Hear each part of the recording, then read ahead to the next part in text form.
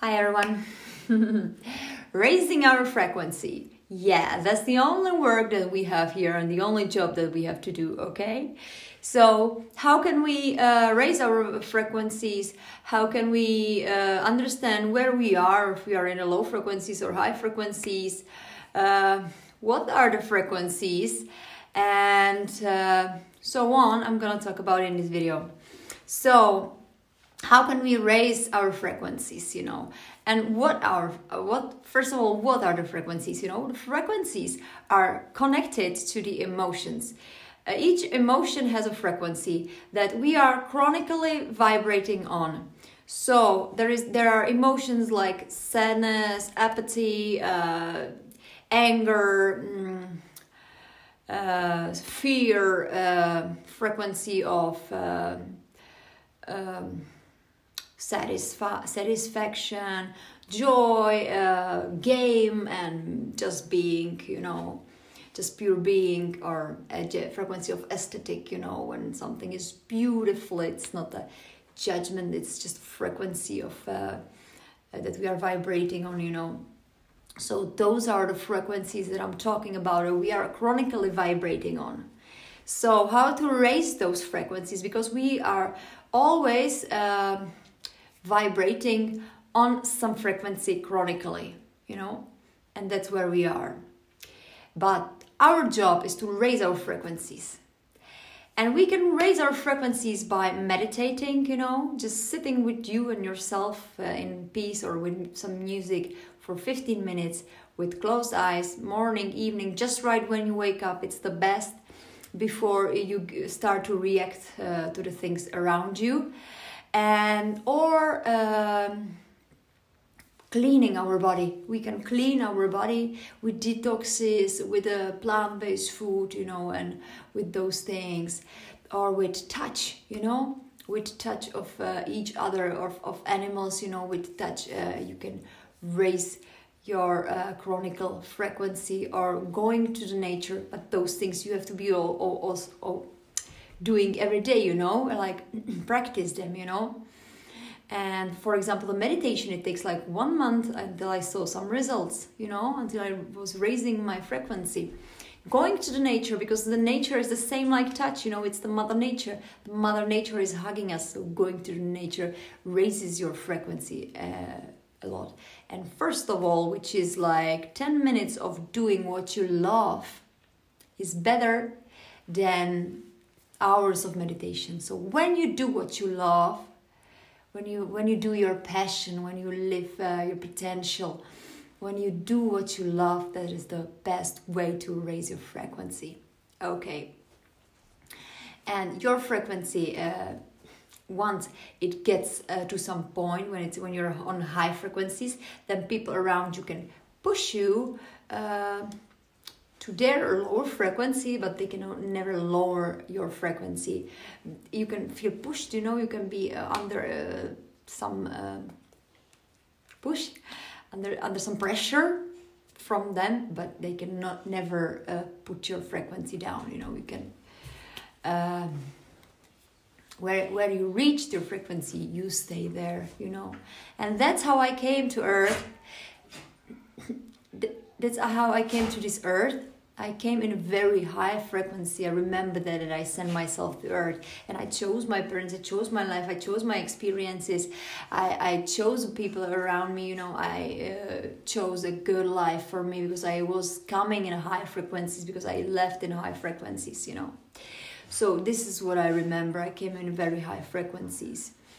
And even though uh, the environment tried to push me down, that can never happen, you know so I'm a rebel, you know, I always was living my my desire, my potential. So you cannot you don't go against you. You go against you, it presses you, you know. So this is how to raise the frequency, you know. I already told you what is frequency, the chronicles frequencies, and now how to see where you are. Okay? So I'm only gonna talk about lower frequencies and higher frequencies. When you are in the frequency of fear, you see the life uh, very uh, different and you are not able to see the life the way it is. but you have this fear filter. So that is uh, you then you don't see the reality as it is, but as you imagine, you know. And you are not gonna even understand me probably now that I'm talking, because you're gonna uh, you're gonna project your fears into me, you know, and you're gonna be scared of whatever I'm talking. It, people in a lower frequencies, they. Uh,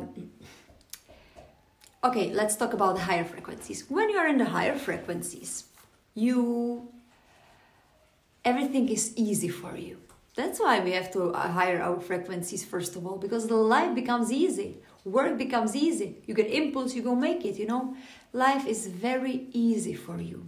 When you are in higher frequencies, you never are ill. There are no illnesses, you know, it vibrates so high that there are no illnesses when you are somewhere in the middle you can have some small diseases you know like some small things but when there you are never uh, uh, ill there are no illnesses in the high frequencies you love children. You love children when you are in high frequencies. And everything that is small you love life you know you, you love the this new life. So you love children and uh, you love your the screaming and all this noise around you. You love people. You love society you know.